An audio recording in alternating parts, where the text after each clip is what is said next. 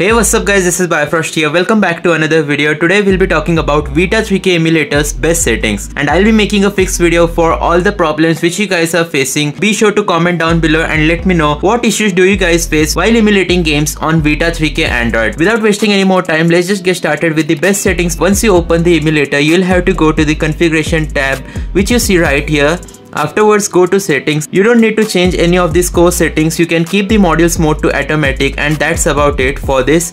Afterwards we can go to CPU. In CPU backend you'll get this uh, drop down menu where the only option present is dynamic. So you just have to keep the CPU backend as default. Enable optimization be sure to enable it. And after you change every single setting make sure to click on the save button so that your settings will be saved. Let's go to the GPU section.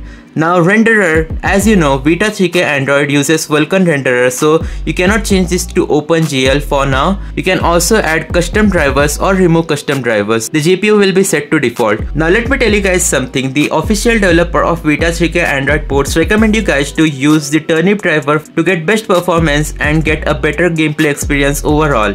But these turnip drivers can only be used on devices with Adreno GPU so you need to have a Snapdragon processor Android device if you want to add add these turnip drivers. So you can import the turnip drivers from your internal storage.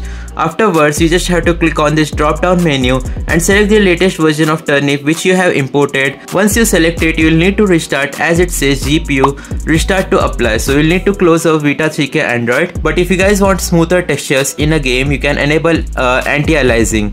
Internal resolution upscaling. This is another option which is not really recommended if you are trying to emulate high-end games on Vita 3K Android. In simple terms, after you upscale your resolution, the game will look way better, but the FPS which you'll get will be horrible depending on the game which you're trying. If you are trying to emulate game like God of War, Persona or Uncharted, I recommend you guys to keep it at 1x. Anisotropic filtering, keep it at 1x as well. I'll keep the internal resolution to 2x for now so you can emulate games at 1080p resolution.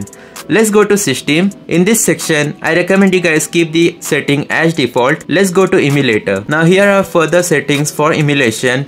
Audio backend, keep it at Cubeb. Enable NGS support, make sure to tick mark it. Uh, texture cache, make sure to enable it as well. Now performance overlay, this is the option which I recommend you guys enable to see how well the game is actually running on your device. So you can keep the detail to low if you want some basic information about the FPS which you are getting. Position, keep it at top left or any position which you prefer. And if you want further performance information like CPU usage etc then I recommend you guys to keep it at maximum. But be aware that it will take up a little part of your screen. Now afterwards let's go to GUI. Now these are the settings which are not related to emulation of games. With these settings you can customize the UI of Vita 3K Android. You can disable grid mode or enable grid mode depending on your visual preferences. You can also scroll down enable Asia region font support. Afterwards uh, we can change the background alpha. So I'll keep it at 0.012 so we'll just go ahead and click on the save button. Now save button as you can see will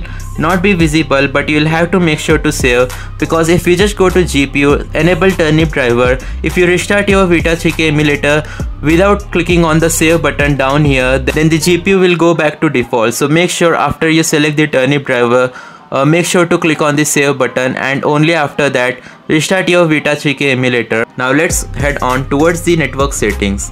PSN status, you can click on online, signed in, signed out, etc. Doesn't really matter. You can also enable HTTP if you want to browse internet so it doesn't really matter click on save then click on close and that's going to be the proper uh, configuration for Vita 3K Android. Now let's just go ahead and try playing the Uncharted Golden Abyss with the turnip drivers and 2x resolution scaling and see how well does the game actually work. Now I would like to uh, again mention that uh, the emulation on Vita 3K Android is not stable. So here we go. Let me just go ahead and click on skip movie. The game has glitched out really really bad now i have decreased the internal resolution upscaling i recommend another thing if you are suddenly getting texture issues which you are not facing before just click on clean shaders, cache and log. Afterwards click on save, click on close.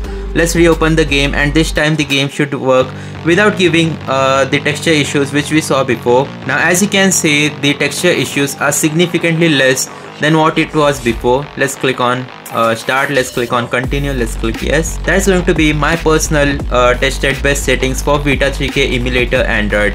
Let me know in the comment section down below if this video was helpful to you guys. Let's close the journal. And as you guys can see right here the texture issues have now been fixed in uncharted. And the game is working really well at 30 fps and the average FPS is 31 so you can see with the help of turnip drivers and a few configuration tweaks the games surely are playable. Thanks for watching. See you guys later. Goodbye